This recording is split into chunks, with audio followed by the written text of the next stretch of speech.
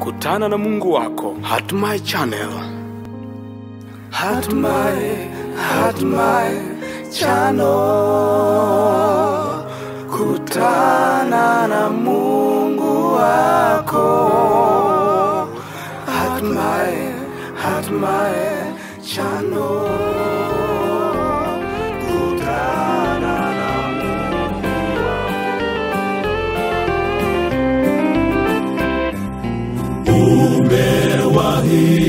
Kusikia kisa cha Yesu aliyeshinda mauti na dhambi zote. Huyo ndiye tumaini la leo, tena ni tumaini la kesho pia tumaini la milele Yesu Mwokozi.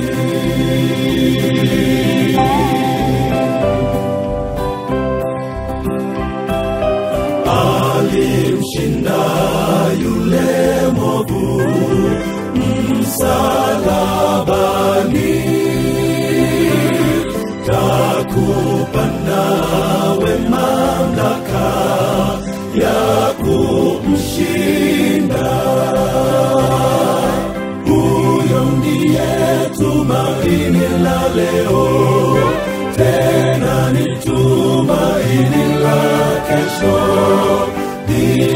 tumaini la milele, Yesu Mwokozi.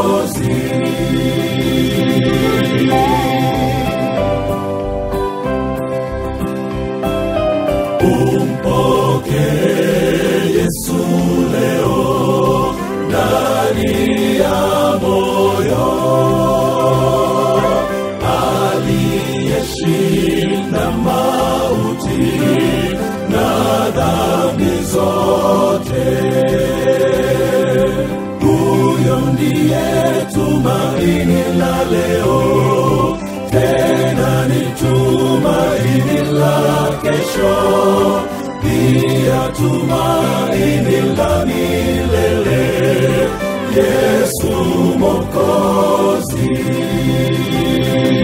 Huyo ndiye tumaini la leo, tena ni tumaini la kesho, pia tumaini la milele,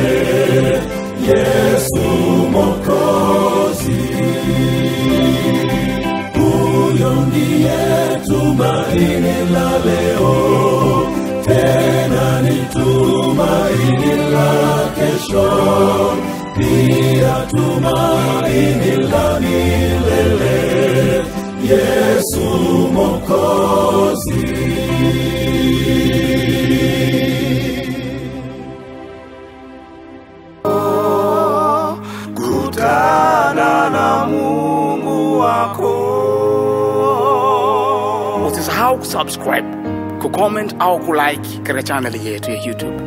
Angalia sehemu wakati anaishi tofauti.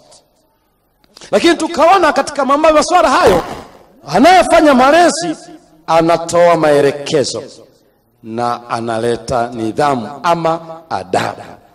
Kwa hivyo gurudumu la uhusiano linapozunguka linatoa maelekezo instructions, linapoendelea kuzunguka linaleta adabu discipline Hili nidhamu iwe na msingi, isiwe na mkanganyiko, isiwe na ukichaa mahusiano. Yasipokuwepo nidhamu, inakuwa na ukichaa, inaugua, inaharibika akili zake. Lakini pia kama hakuna mahusiano, maelekezo hayatafanikiwa. Hutafanikisha kutoa maelekezo ambayo nayatoa kwa mtoto, hutafanikiwa kama uhusiano hauko vizuri na mtoto. Na hata hivyo, ile imani yani kukutumainia, kukutegemea, kujua ya kwamba wewe ni wa muhimu, vinadumazwa na vinakuwa kilema. Leo ni malezi darasa sehemu ya kwanza. Kuna mambo matatu muhimu ambayo tunahitaji kuiangalia. La kwanza, jambo la kwanza ambalo tunapaswa kuiangalia hapa, malezi darasa yanakuwa na mpango rahisi. Mpango wa malezi lazima uwe rahisi. Unakuwaje rahisi mpango? Uwe na ujasiri na mpango huo kwamba hivi ndivyo ndio mfumo wangu wa kutoa malezi kwa mtoto, na huo uwe na ujasiri. Ili uwe na ujasiri, ufahamu na mtoto aufahamu, ajue ya kwamba hivi ndivyo mpango ulivyo, ajue hivyo na wewe ufahamu hivi ndivyo tunavyoendelea. Kumbuka, anajifunza kwa kuona na anajifunza kwa kusikia. Unavyofanya pale nyumbani, unavyofanya kwa mke wako, unavyofanya kwa mme wako, unavyofanya kwa dada zake, unavyofanya kwa kaka zake, unavyofanya kwa shangazi, unavyofanya kwa kina mjomba, unavyofanya kwa mama wakubwa, unavyofanya kwa baba wadogo, unavyofanya kwa wageni, unavyofanya kwa watu wowote, kila unachofanya anajifunza. Ninao mfano kidogo na, na mtoto wangu wa miaka mitatu na miezi pale nyumbani. Haijawahi tokea maishani mwangu akaniona nikimkumbatia mama yake, hajawahi niona. Siku moja nimeenda nyumbani, nilipoingia nyumbani nikajisikia kumkumbatia. Alikuwepo yeye, alikuwepo shemeji yangu, alikuwepo mwingine. Mama akawa amegundua jambo hilo. Akanionyesha aka dalili za kutokubali nimkumbatie. Sikuelewa vizuri hiyo signal, kwa haraka sikuielewa, nikajitahidi nika kuhakikisha ya kwamba namkumbatia, akajitahidi kuonesha ya kwamba hayuko tayari. Nikajitahidi kwa hali zote, katika ile hali ya kumfata, na yeye anaonekana kama ananionyesha ishara fulani ambayo sijaielewa, ikawa kama vile namvuta na yeye kama vile hataki. Huyu huyu mtoto wa miaka mitatu alipoona zoezi hilo ni geni kwake na ni jipya, alilia, alilia kabisa, yani alilia machozi, alilia machozi kweli kweli. Nikashindwa kuelewa. Tulipoenda chumbani, mke wangu ananiambia huyu mtoto hajawahi kuniona unanikumbatia mbele ya macho yake. Nilikuwa nakupaia ishara, lakini kugundua nikagundua watoto wanahitaji system inayoeleweka. Kwa hiyo hili hili ninamkumbatia mke wangu, lakini mtoto hajawahi kushuhudia kwa hadhara kabisa sebuleni, namkumbatia mke wangu, na mke wangu alielewa. Yule mama ana, aliona mbali kabisa na akajitahidi kutokubali wakati ule, na mimi najitahidi kwa hamu zote nimkumbatie, na mtoto akalia machozi. Ndipo nikaelewa wanahitaji mfumo rahisi unaoeleweka, na tukuja kuangalia kesho jinsi ilivyo na kesho kutwa, kwamba ukibadilisha tu mfumo, ukiubadili tu hujaeleweka, inaleta shida kwenye sham, kwenye upande wa, wa, wa, wa, wa malezi, inaleta shida. Kwa hiyo nikagundua nina kibarua kingine cha cha kumfanya mtoto ajue huwa anamkumbatia mama yake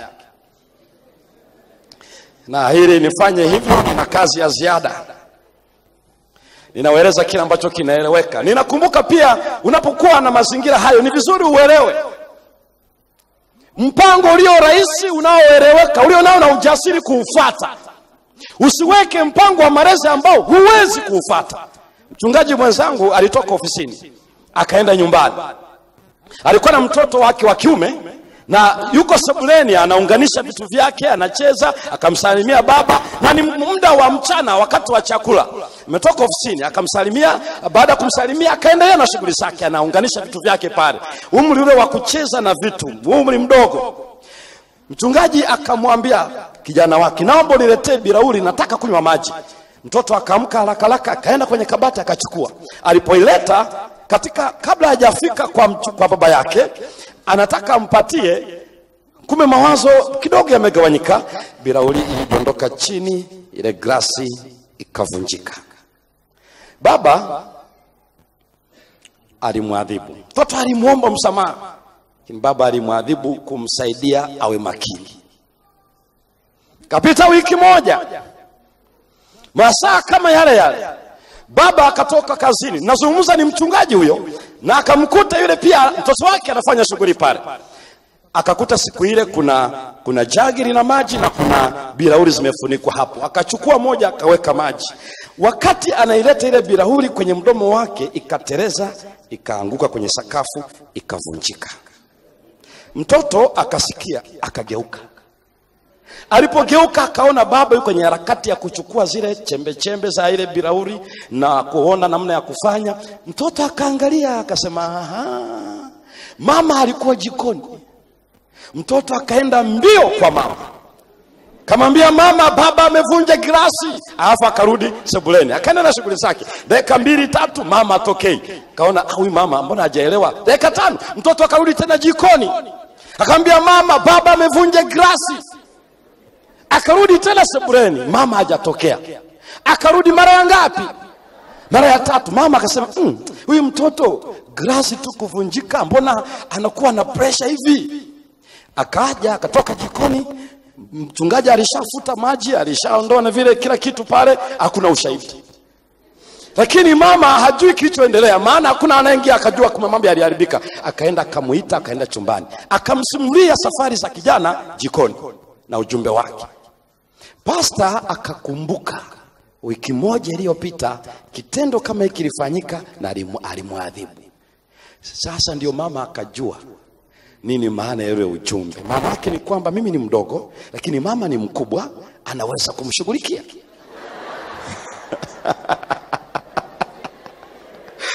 Kwa hivyo kilichofanyika ni nini hapo? Wakashauriana wafanyeje? Waniwambie hujawahi ona ukiamua kuwa shujaa wa ndoa na ukaamua kuangalia mtoto maana mtoto wa shujaa hazaliwi akiwa shujaa. The hero is trained. Shujaa anafunzwa. Hazaliwi akiwa shujaa wa msalaba bali anafundishwa. Sasa hebu niambie kesi walioipata watafanyaje? Maana kosa ni la aina moja. Yeye aliomba msamaha alichapwa. Leo ni zamu ya baba. Mtoto anasubiri baba aweze kuchapwa. Kwa hiyo wakazungumza chumbani. Pasta alipiga magoti akaomba msamaha kwa mungu. Kinachofanyika ni nini? Ikabidi sasa mama awe hakimu. Na mafu mtoto maana ameshamshirikisha mama yake ili waketi ile kesi waisuluhishe. Walizungumza sio chini ya dakika thelathini. Mtoto baba anaomba msamaha. Mtoto anasema ni kweli nimekusamehe lakini uchapwe. Na unajua yule mtoto aliomba msamaha na yeye na alichapwa. Usiweke mpango ambao huwezi kuwa chini ya mpango huo. Usijaribu. Usijaribu usifanye chochote ambacho kikija upande wako huwezi kukibali kukubali. Baada ya kusii na maombi kwa yule kijana yule mtoto hatimaye alikubali. Akamsamehe baba yake na akaahirisha adhabu. Kama angelikataa sijui kingelifanyika nini. Unaweza usielewe lakini ndio utangulizi wa sehemu ya kwanza na kesho tutakuja kuangalia vizuri jambo hili hivyo ndivyo inafanyika katika maisha haya.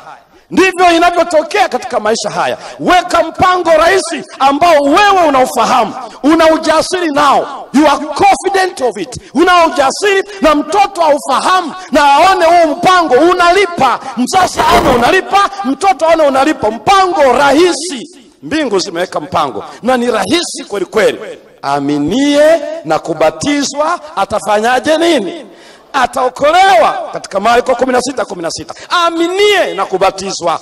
Ataokoka na ameuweka kuwa rahisi unaoweza kufahamika kwa wakazi wa dunia na mbingu zinaufahamu mungu anataka mpango wake ueleweke na kila mzazi ahakikishe mpango wa malezi huu mpango wa malezi unaeleweka vizuri kwake na kwa watoto.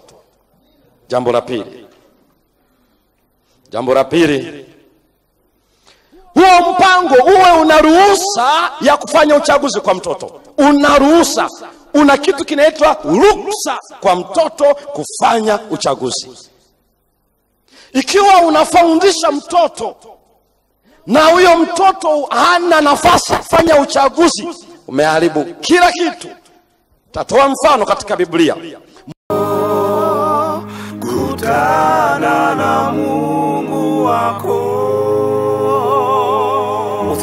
kusubscribe kucomment au kulike katika chaneli yetu ya youtube. Angalia sehemu iliyoandika subscribe.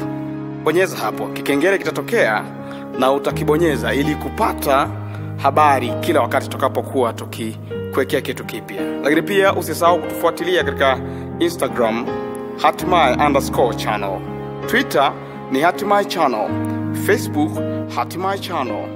Youtube channel hatimaye channel mungu akubariki mshirikishe na mwenzio. Hatma channel